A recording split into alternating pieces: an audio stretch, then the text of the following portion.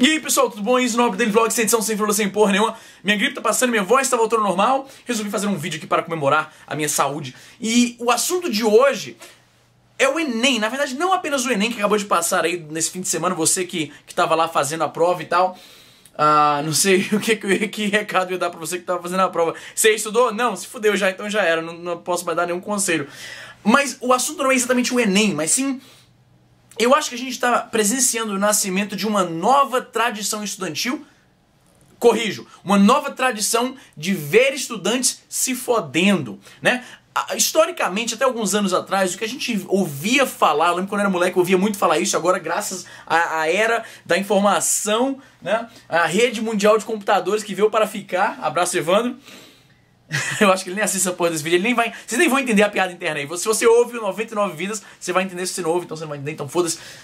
Na internet, graças ao YouTube, a gente pode ver uma coisa que quando eu era moleque a gente só ouvia falar. Gente que chegou dois minutos atrasado para fazer o vestibular e o portão tinha fechado e o maluco ficou do lado de fora chorando. Quando eu era moleque, a gente ouvia muito essas histórias, né? E agora, graças ao YouTube, existem vários vídeos, situações similares.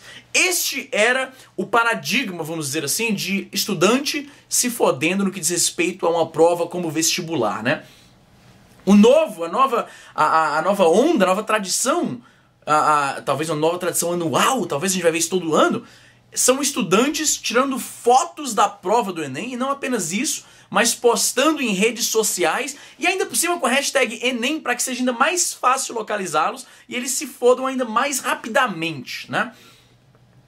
E eu acho isso aconteceu no ano passado, foi a primeira vez que a gente viu isso acontecendo em larga escala, né? Pessoas tirando foto do Enem, postando no Instagram, no Twitter e sendo desclassificado em seguida. E esse ano aconteceu de novo, vai pensar que isso aqui é uma nova tradição anual que a gente vai ficar vendo isso todo ano, né?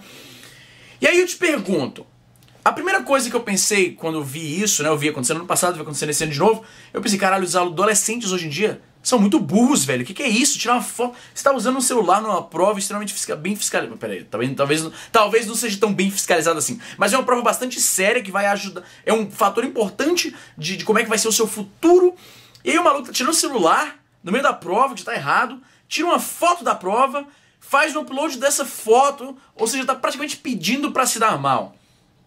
E aí, inevitavelmente, eu tenho, eu tenho 29 anos, né? na verdade, eu vou fazer 29 anos daqui a menos de uma semana. Eu faço, faço 29 anos dia 5 de novembro. E eu pensei, a primeira coisa que eu pensei, obviamente, a gente que é velho, que é mais velho, a gente pensa logo, nossa, esses adolescentes hoje em dia são muito burros. Eu não era tão burro assim quando eu era criança, né?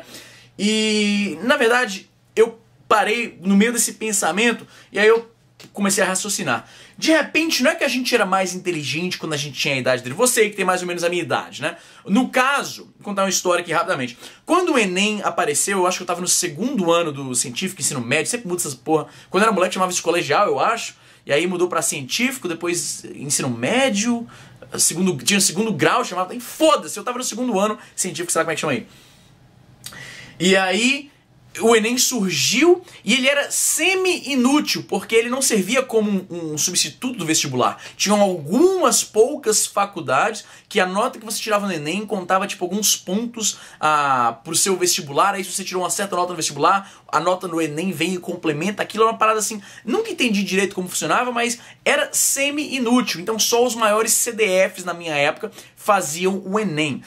Eu saí do Brasil mais ou menos há 10 anos atrás e de lá para cá eu vejo que o Enem meio que substituiu o vestibular. Então, na questão de importância de você conseguir fazer essa prova, chegar lá no, na hora certa para começar de conversa e não fazer alguma merda que vai te desclassificar da parada, é, é, bastante importante, é, um, é, o novo vestibular, né? Pelo que eu entendo, né? Pelo que eu vejo. Eu, meu olhar é muito de, de, de, fora, mas eu entendo mais ou menos que é como se fosse um novo vestibular.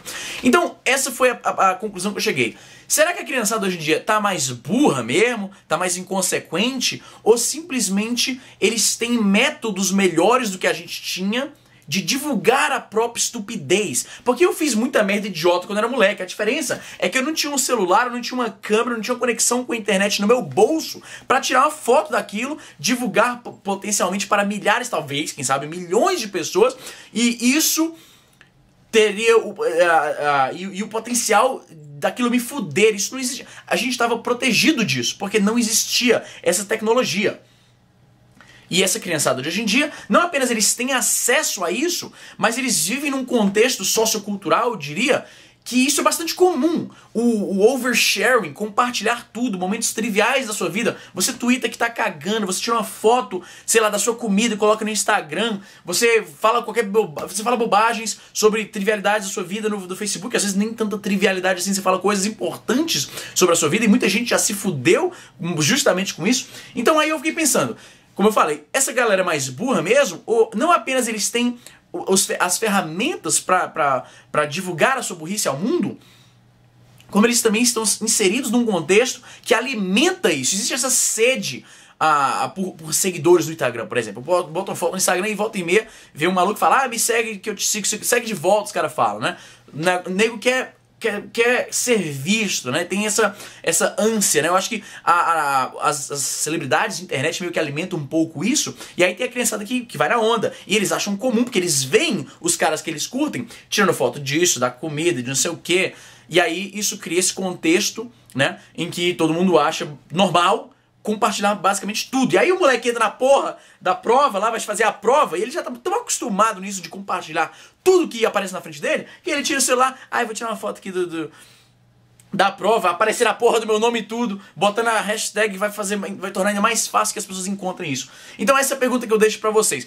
Eu fiz muita burrice quando era criança. Eu me senti tentado imediatamente a pensar, a concluir, ah, esses adolescentes hoje em dia são tudo burro mesmo. Mas será que eu era tão mais inteligente assim ou apenas não tinha as ferramentas para divulgar a minha burrice e me fuder com isso? Qual é a sua opinião? Eu tô um pouco em cima da, da cerca. Eu acho que não apenas. É, é, as redes sociais e, e a, a, tecnologia a pessoal portátil, como um smartphone, um tablet, seja lá o que, é, é a ferramenta que, que permite isso e é também um elemento desse novo contexto que, que incentiva e que normalizou esse, esse oversharing, né? Tirar foto de tudo, falar sobre tudo e tal.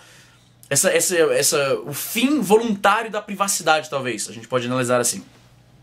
E eu deixo a pergunta para você. O que, que, você acha? Você acha que é porque a criançada mesmo tá mais burra? Ou você acha que todo criança e adolescente sempre foi idiota e os de hoje tiveram o azar de nascer num, num, numa sociedade, talvez eu possa dizer, que, que facilita que as estupidezes, estupidez tem plural, estupidez tem plural, que as burrices deles escapem do pequeno círculo. Porque quando você era criança, você fazia idiotice, aquilo era bem contido no seu círculo social. Hoje em dia, maluco, tu faz algo idiota, aquilo, com, por causa que a gente tem hoje, aquilo espalha e potencialmente o país inteiro pode ver a idiotice que você fez, a idiotice que você disse, né? Então é isso aí. Deixa a pergunta para vocês, coloquem nos comentários o que, que você acha e é isso. Se inscreva no meu canal se você gostou desse vídeo. Clica no joinha, te demora eu acho que um meio segundo e me ajuda pra caralho, você não tem noção. Se você curtiu o English Challenge, eu tô voltando com ele agora toda semana nessa porra. A HBDTV vai voltar também. O que diabo é isso?